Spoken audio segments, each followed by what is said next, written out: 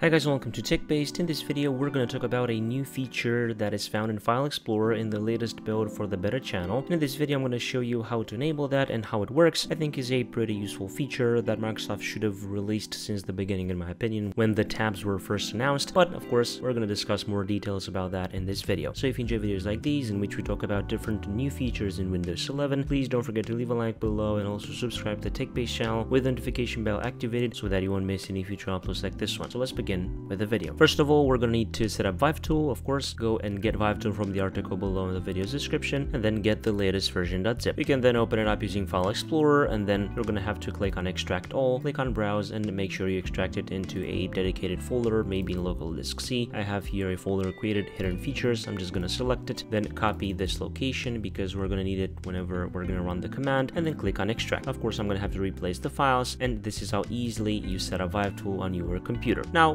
open up the search box, type into your CMD, and then click on Run as Administrator. On User Account Control, of course, click on Yes. First of all, in CMD, we're going to have to type in CD and then paste the location and press Enter. We're now in that location, and then we're going to run two commands just to make sure that this new feature will be enabled. The first command, ViveTool slash enable slash ID 48433719. Press Enter. You should receive the message successfully set feature configuration. This is a command or an ID that is required to be enabled or that main ID to work and then the main ID ViveTool slash enable slash ID 45262221 and then press enter and yet again you should receive the message successfully set feature configuration. These IDs and commands of course were discovered by PhantomOfEarth on Twitter so make sure to follow him because he does a great job by finding hidden features in Windows and all these commands will be in the article below in the video description if you just want to copy and paste them from there. Now after you run both commands you can exit out from the CMD and restart your computer for the changes to take effect. Now after the restart if you open up the File Explorer, you're going to notice that when you right click on a tab, you're going to have a new option which is duplicate tab. So basically whenever you're working, for example, inside pictures, if I right click on the tab and then click on duplicate tab, it's going to duplicate the tab for me as easy as that. Maybe you're doing certain tasks, different tasks inside the location. You just need to have that same location opened yet again. Maybe you are inside the root of a lot of folders. So this could be really useful in that case. And this works, of course, for all locations. For example, screenshots, duplicated and is going to be duplicated. Of course, as you can see, the animation is kind of rough right now. It doesn't have any animation actually, but of course, this is because Microsoft is currently testing it. They didn't even announce it officially, so this is only a hidden feature tested in the background. So, as I've said, this feature is really simple, but I think really useful.